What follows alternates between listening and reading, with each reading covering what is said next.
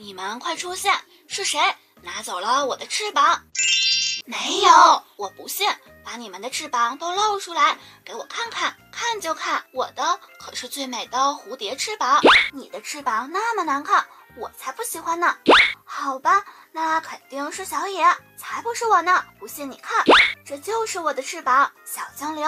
我这是蓝色的精灵翅膀，的是绿色的。好吧。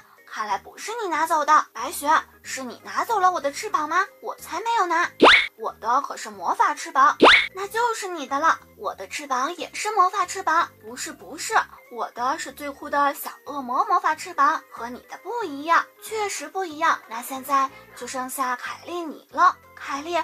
快让我看看你的翅膀！我我不让你看，那就是你拿走的，我没有拿。我凯莉，你可真过分，居然拿小精灵的翅膀！凯莉，你还是快还给小精灵吧，我真的没有拿。凯莉，如果真的不是你的话，那就让我们看看你的翅膀吧。好吧，你们看吧。咦，凯莉，你的翅膀在哪儿呢？就在这里呀，是需要放大镜才能看到。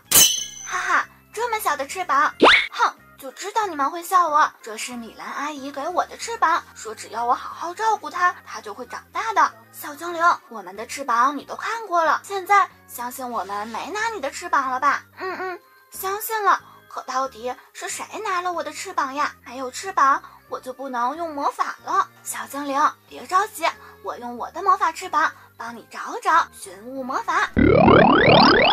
找到了你的翅膀在安娜家里，太可恶了！我现在就去把我的翅膀找回来。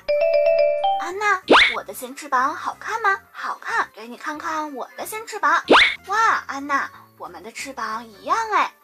王子，安娜，你们居然拿走了我的翅膀！我们才没有拿你的翅膀，我的翅膀是我在树林里捡到的，我的翅膀是在商店里买的。你们胡说！你们的翅膀和我的翅膀一模一样，就是我的。既然我们的翅膀都和你的一样，那我们谁的翅膀才是你的呢？看我的翅膀魔法，能用魔法的翅膀就是我的。